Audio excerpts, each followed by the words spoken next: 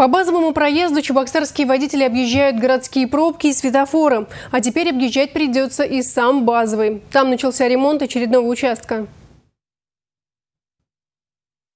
Почти на месяц до 1 ноября движение автотранспорта по проезду ограничат. Дорогу перекроют от дома номер 8 до дома номер 19. Терпеть такие неудобства горожанам придется ради капитального ремонта, которого здесь никогда раньше не проводили. Деньги из бюджета на ремонт 300-метрового участка уже выделили. Что ж, одну улицу перекрыли, зато открыли другую. Полностью возобновилось движение по улице Николаева на участке между улицей Чапаева и Цивильской. Там закончили перекладывать трубы магистральных сетей.